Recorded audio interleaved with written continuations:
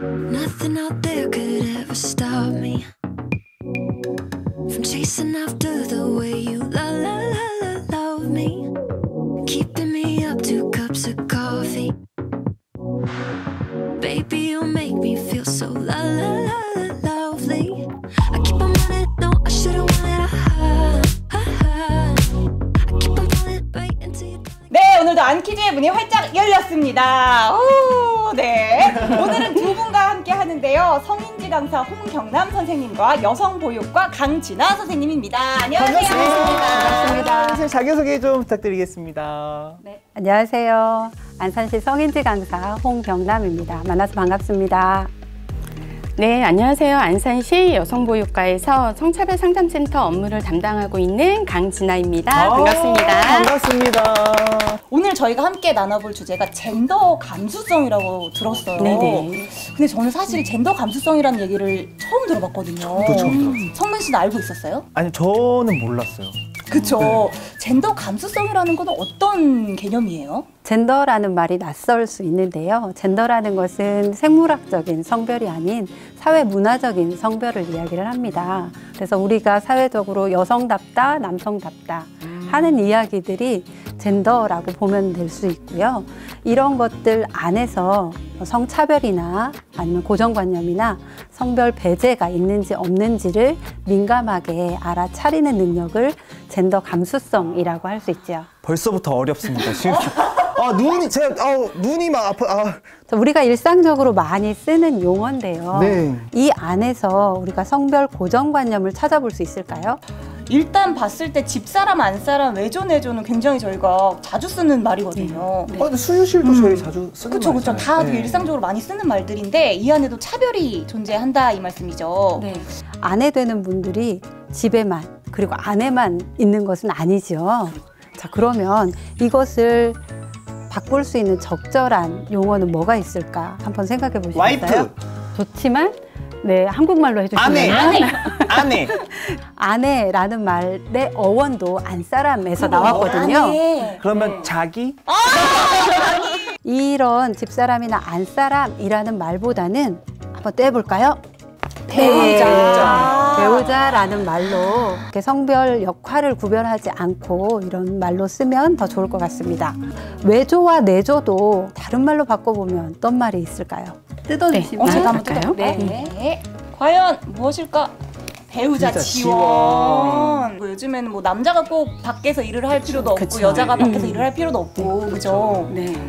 자, 그럼 그 다음 수유실이라는 말이 있는데요. 아이 식당, 아이 식당. 아이 식당. 과연 아이 식당이 맞을 것인가? 아, 아이 식당. 어, 비슷했어, 비슷했어. 네. 그런데 수유실 하면 모유를 수유하는 것을 우리가 흔히 연상을 하게 되는데요. 네. 아버지가 아이를 기르는 경우도 있잖아요. 그렇죠. 그러면 그분들은 이 아이를 케어하기 위해서 아이를 돌보기 위해서 이용할 수 없는 곳이 되기도 하거든요. 그다음에 몰래 카메라가 또 있네요, 선생님. 네, 마지막으로 몰래 카메라인데요. 자, 몰래카메라 하면 두 분은 어떤 것이 연상이 되세요? 공공적인 장소에서 누군가를 찍는 행위죠. 불법 촬영, 아 불, 불법 촬영이라고 했다. 맞다. 딱 떠올랐다. 오. 네. 맞아요? 웬일이요, 선생님? 아니 지하철 가면은 불법 촬영 안 돼요. 이런 거 붙어 있단 말이에요. 네, 맞습니다. 몰래카메라 하면 이게 오락적인 요소가 있는데요. 아, 사실 범죄 행위인 그 불법 촬영을 몰래 카메라라고 이야기를 하면서 불법성이나 이게 범죄 행위임을 인지하지 못하게 하는 경우들이 있거든요. 그래서 정확하게 이렇게 불법 촬영이라고 불법 이야기하는 촬영. 것이 필요합니다. 명확함이 딱 필요하네요. 불법 촬영은 분명한 범죄 행위입니다. 맞아요. 범죄입니다. 가서 혼내줘, 너. 그러면은 강진아 선생님께서는 젠더 문제를 해결하기 위해서 어떤 정확하게 어떠한 일을 하시는 걸까요? 저는 우선은 젠더 감수성이나 젠더 개선을 위해서는 사실 인식 개선이 되게 중요해요. 지금 안산 시민이나 공무원 대상으로 인식 개선을 위한 캠페인을 기획하고 또 활동을 같이 하고 있고요. 성인지 교육이나 폭력 예방 교육을 지원하고 있습니다. 그러면은 혹시 그런 이런 부분의 사례를 조금 들어주시면서 설명을 좀 해주실 수가 있나요? 어, 사례라고 하면 사실 제가 이제 상담을 했던 사례 중에서는 친밀 관계에서 있었던 어, 폭력들이 많이 있었습니다. 네, 예를 들어서 어, 뭐 가정 폭력, 데이트 폭력, 성폭력도 마찬가지죠. 네. 우리가 이제 가깝다고 특히 가족도 마찬가지잖아요. 친밀한 관계일수록 사실 저희가 더 존중해야 되거든요. 하나의 인격으로 보고 존중해야 되는데 그런 게 아니라 통제, 물리적, 심리적 통제를 위해서 발생되는 폭력들이 많이 있죠. 이렇게 말씀해 주신 것처럼 생활 곳곳에서 어떻게 보면 피해를 피해 아닌 피해를 보고 있는 경우들이 많잖아요. 또 그런 고민을 가지고 계신 분들도 굉장히 많이 계실 거라는 생각이 들어요. 혹시 내가 이런 고민을 갖고 있는데 뭔가 상담이나 이런 게 약간 주저된다 하시는 분들이 계시다면 어떻게 도움을 좀 청할 수 있을까요? 어, 제가 성차별 상담센터 업무를 하고 있다라고 했잖아요. 상담소가 있는 것조차도 모르시는 분들이 많이 계세요. 그리고 폭력 피해가 있었음에도 상담을 하거나 신고를 하는 거에 많이 망설이는 이유가 있는데요. 개개인마다 다 다른 이유가 있으시겠지만, 어, 뭐 경제적인 자립, 심리적 자립 그런 거에 대한 어려움 그리고 주변의 시선, 2차 피해 등 뭐 다양한 사례들이 있습니다. 근데 사실 어, 폭력 피해는 피해자 당사자 잘못이 아니잖아요. 폭력을 행사한 행위자 잘못이거든요. 어, 그런 어려운 상황에서도 어, 용기를 내셔서 상담소에 음, 문을 두드리시면 좋을 것 같습니다. 안산 민원콜센터 전화번호 뭐라고요, 선생님? 음. 124, 1666, 1234. 정답입니다. 상품 있나요? 아, 찾아가 네네네. 주시면, 네. 네, 여러분 1666-1234 전화하셔서 우리 선생님 찾으시면은 성그 뭐라 그랬죠? 부서가 성차별 상담센터고요. 아, 성차별 그- 네, 상담센터. 아니면 여성 보육과입니다. 네, 여성 보육과 네네. 연결해 달라고 하신 다음에 네. 이 도움을 요청하시면 되도록 하겠습니다. 오늘 이렇게 말씀을 계속 많이 나눠주셨는데 사실 저희가 안퀴즈잖아요. 네. 드디어 그 시간이 찾아왔습니다. 안퀴즈 yes. yes. 문제 나갑니다. 이 주간은 지난해까지 7월 1일부터 7일까지로 하였으나 올해부터는 여권 통문 날을 포함하여 9월 1일부터 7일까지를 땡땡땡땡 주간으로 하기로 했다고 합니다. 우리나라 최초의 여성 인권 선언문인 여성 통문이 발표된 날인 9월 1일을 지난해 법정 기념일로 제정한 의미를 담기 위한 이 주간은 무엇일까요? 아니 잠깐만요. 주관식으로 해도 이미 되나요? 아니 뭔가 눈빛 교환 있었지? 눈빛 있었어. 어, 나 봤어. 아 오늘 퀴즈 끝났어 망했어. 아. 나도 여기서 질문 있는데 뭔가 선생님 두 분이 고개를 끄덕이시는 거야. 그래서 어 아시나 보다. 아 감독님 이거 너무 쉬운 거 아닙니까 이 문제가? 네. 아. 1번 남자만 평등 주간. 2번 여성만 평등 주간. 3번 양성 평등 주간. 어우 발음이 어렵네요. 양성 평등 주간. 네. 이미 힌트를 다 줬네요. 일단 글자 수만 봐도 네, 다 네. 줬네요. 정답은 정답은 3번 양성평등 주간입니다. 맞습니다.